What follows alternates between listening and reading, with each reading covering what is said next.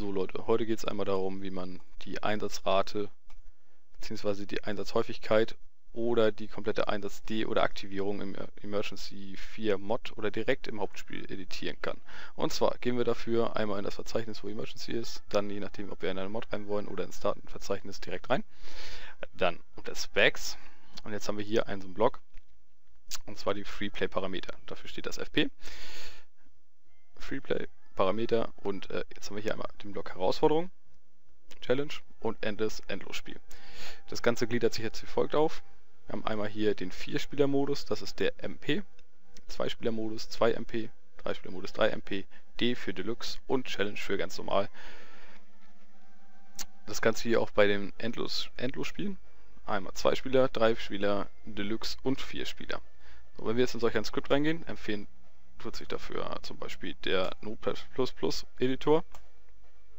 Dann bekommen wir hier so eine farbige Auflistung der ganzen Parameter und Variablen. Nun scrollen wir ein wenig runter, bis ein Punkt kommt mit Events. Zu finden hier kann man auch dort oben in der Suche eingeben, dann landet man dort auch direkt.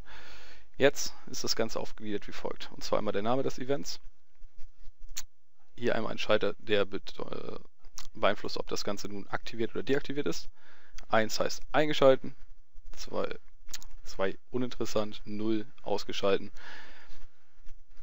Kann man hier einmal die Frequenz einstellen. Das sind immer pro 10 Minuten mal dieser Faktor ergibt dann die Anzahl der eingespielten Einsätze. Sprich, pro 10 Minuten kommt jetzt 0,4 mal dieser Einsatz. Wir haben jetzt hier einmal das EFPE, Event Fall, das heißt Person gestürzt. Hier zum Beispiel haben wir den Schock, Kreislaufkollaps, Lebensmittelvergiftung etc. Wenn man jetzt nicht ganz, genau weiß, was das jetzt heißt, kann man das natürlich auch googeln. Ähm, hier geht das bis, Moment, zum Erdbeben runter. Wir haben zwischendurch noch irgendwo Events, die, Moment, okay, hier sind sie nicht vertreten.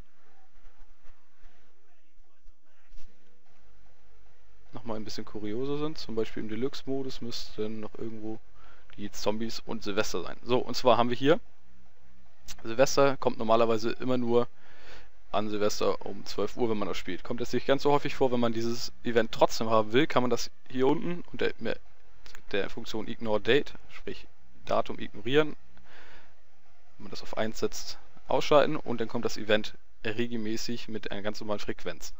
Sprich, dreimal alle 10 Minuten.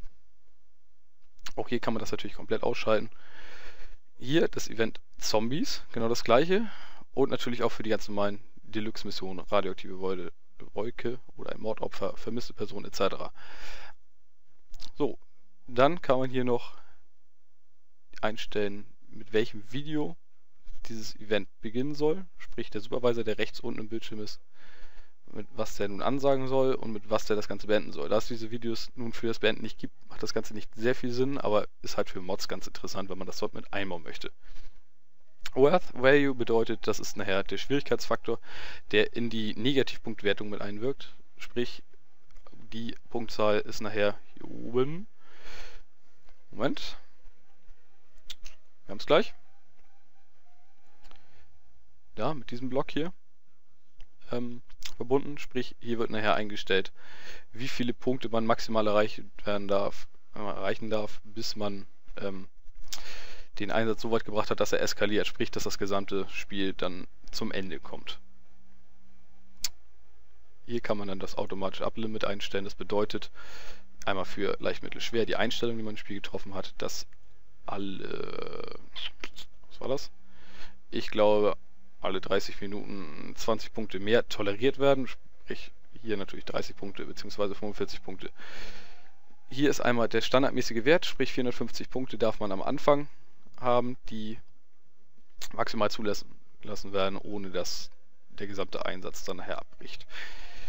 Hier werden noch Faktoren, die linear sich nachher fortsetzen, mit einbezogen, sprich pro zerstörtes Haus oder Haus, was gerade brennt, 15 Punkte, brennende Objekte, 8 Punkte, Gangster 10 und so weiter.